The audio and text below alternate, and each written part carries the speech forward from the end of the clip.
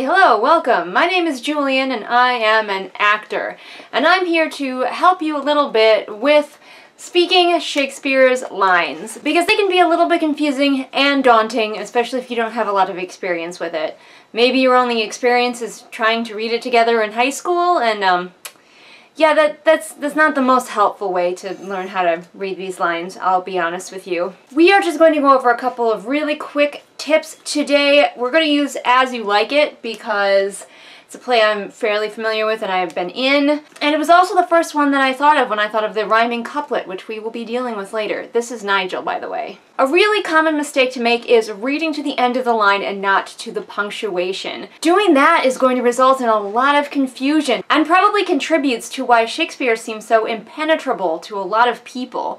It's because they read to the end of the line, not to the punctuation. So we're going to take one of my lines, I played Rosalind when we did this play, and we are going to look at it reading to the end of the line and reading to the actual punctuation. Now my little book actually does a pretty good job of making it easy to read to the punctuation, but sometimes you will find it laid out in on a much larger page, for example, where there'll be all this space after the end of the line. So let's read to the end of the line for a couple of these. Yes, one in this manner. He was to imagine me his love, his mistress, and I set him every day to woo me.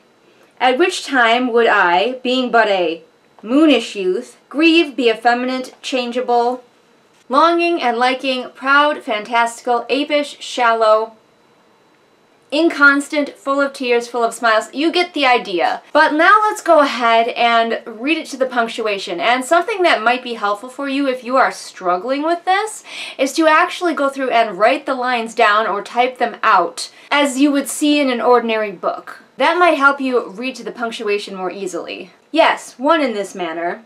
He was to imagine me his love, his mistress, and I set him every day to woo me. At which time would I, being a moonish youth, grieve, be effeminate, changeable, longing and liking, proud, fantastical, apish, shallow, inconstant, full of tears, full of smiles, for every passion something, and for no passion truly anything. You get the idea. It makes a lot more sense that way, doesn't it? You can kind of understand what the character is saying when you read it to the punctuation, not to the end of the line. But Shakespeare he loves a rhyming couplet, and those things are dangerous because it is super easy to just turn it into a sing-songy da-da-da-da-da-da-da. Now, sometimes he will do it in situations where it is supposed to be funny or he's using it for that reason, such as the one that I'm going to be reading to you now, which is Orlando's poetry for Rosalind, which is supposed to be kind of cringy. For taste. If a hart do lack a hind, let him seek out Rosalind. If the cat will after kind, so be sure will Rosalind.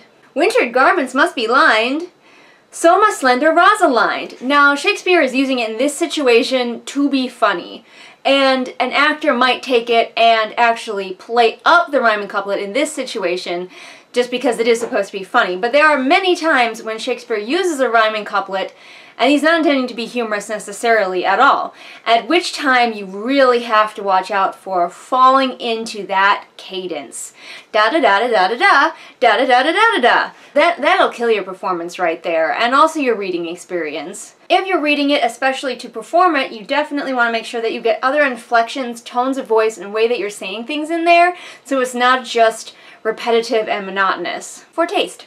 If a hart do lack a hind, let him seek out Rosalind. If a cat will after kind, so be sure will Rosalind. Winter garments must be lined, so must slender Rosalind. I'm doing a bad job, but you get the idea of the inflection, the difference, the way of saying it, to keep you from just falling into that sing-songy rhythm. There you go, I hope that was helpful. My book is falling apart. You can always tell if a script has been used on stage because it is falling apart.